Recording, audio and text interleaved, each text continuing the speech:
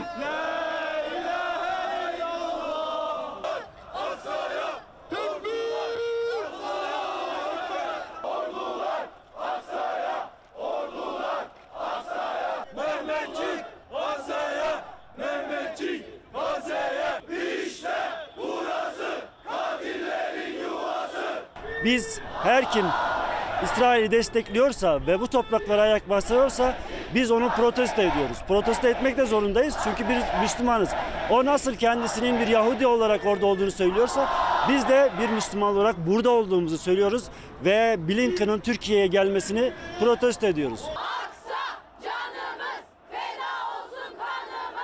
Biz de Müslümanlar olarak bu soykırıma ses çıkaracağımızı ve bunu kabul etmeyeceğimizi, ordularımızın ve milletimizin İsrail'in karşısında ve Gazze'nin yanında olduğunu belirtmek için burada toplandık.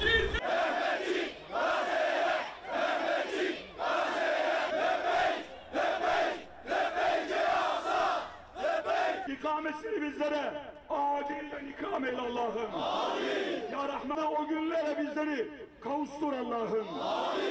Vaat ettiğin ve hiçbir şey yapmayan üstüne üstlük Müslüman kardeşlerimizin şahit ol ki kardeşlerimizi acılarıyla, dertleriyle